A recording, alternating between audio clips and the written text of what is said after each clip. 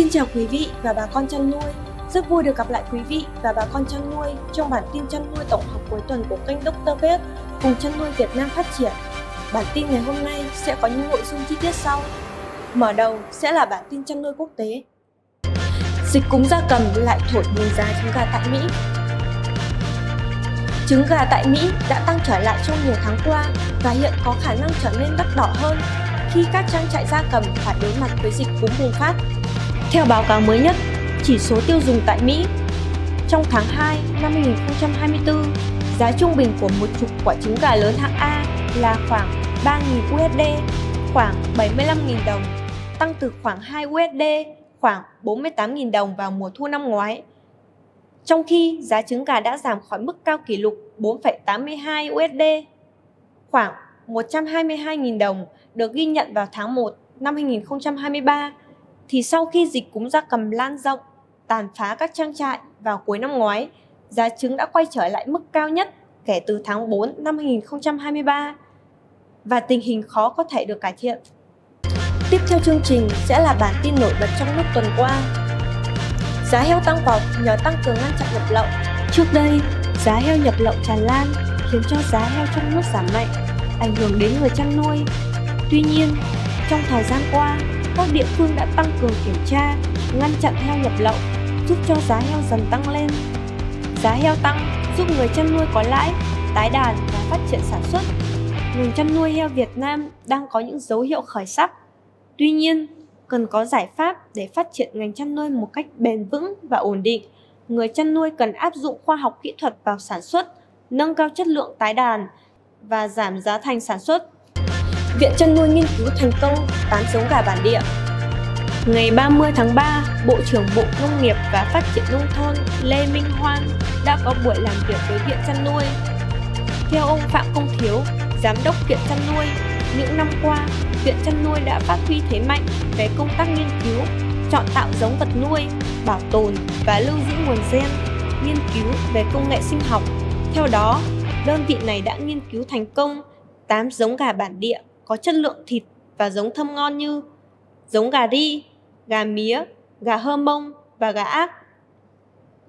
Ghi nhận những đóng góp của viện với ngành chăn nuôi, Bộ trưởng Bộ Nông nghiệp và Phát triển Nông thôn Lê Minh Hoan muốn viện chăn nuôi tiếp tục phát huy thế mạnh, đồng thời nghiên cứu thêm về lĩnh vực phúc lợi động vật, tập trung nghiên cứu con giống, phục vụ cho chăn nuôi nông hộ, góp phần phát triển kinh tế nông thôn. Đề xuất tạm ngưng việc công bố hợp quy thức quy Bộ Nông nghiệp và Phát triển Nông thôn đề xuất chính phủ chỉ đạo cho tạm ngưng hoặc không xử phạt hành vi hành chính đối với hành vi sản xuất, nhập khẩu, lưu hành thuốc thú y đã được cấp giấy chứng nhận lưu hành nhưng chưa được công bố hợp quy về bất cập trong công bố hợp quy thuốc thú y. Theo đó, Bộ Nông nghiệp và Phát triển Nông thôn kiến nghị Thủ tướng, Phó Thủ tướng cho phép Bộ sửa đổi, bổ sung thông tư số 13 năm 2016 của Bộ về quy định quản lý thuốc thú y theo trình tự thủ tục rút gọn. Bộ Nông nghiệp và Phát triển Nông thôn cho rằng việc này vừa đảm bảo thực hiện công bố hợp quy thuốc thú y theo quy định, không phải lấy mẫu giám sát đánh giá chất lượng sản phẩm hàng năm, vừa không phải đánh giá quá trình sản xuất.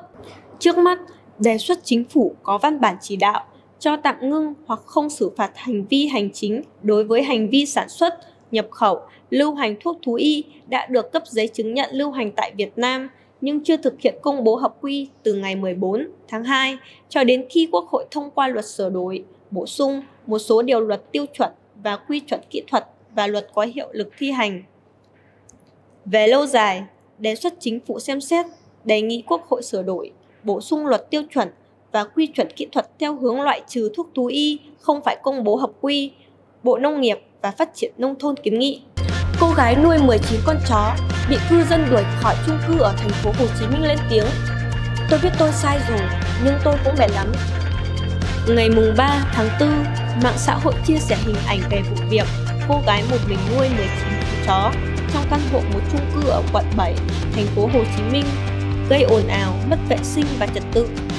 Bài đăng cho biết, cô gái bị cư dân yêu cầu rời khỏi căn hộ và đã rời đi, bỏ lại hết đồ đạc và đàn chó 19 con giữa trời nắng nóng người dân đã đưa đàn chó vào chỗ mát và cho ăn uống, còn chủ thì không thấy đâu. Bên cạnh đó, một đoạn clip ghi lại hình ảnh cư dân vây quanh nhân vật chính cũng được chia sẻ. Trong đoạn clip, một thanh niên bức xúc cho biết sống gần căn hộ của cô gái này và không thể chịu nổi tiếng ồn của 19 con chó. Các cư dân cũng lên tiếng phản ánh cuộc sống bị ảnh hưởng rất nhiều vì tiếng ồn và vấn đề vệ sinh ảnh hưởng đến toàn chung cư. Phía ban quản lý chung cư cho biết vụ việc đã được giải quyết xong với cô gái, chủ nhà đã tất toán, hoàn lại tiền cọc thuê nhà. Chi tiết cụ thể thì phía ban quản lý không cung cấp thêm, cho rằng thẩm quyền trả lời thuộc cơ quan công an phường. Những thông tin vừa rồi đã kết thúc bản tin chăn nuôi tổng hợp cuối tuần của kênh Dr. Pet cùng chăn nuôi Việt Nam phát triển ngày hôm nay. Cảm ơn quý vị và bà con chăn nuôi đã quan tâm theo dõi. Xin chào và hẹn gặp lại quý vị và bà con chăn nuôi trong những bản tin tiếp theo.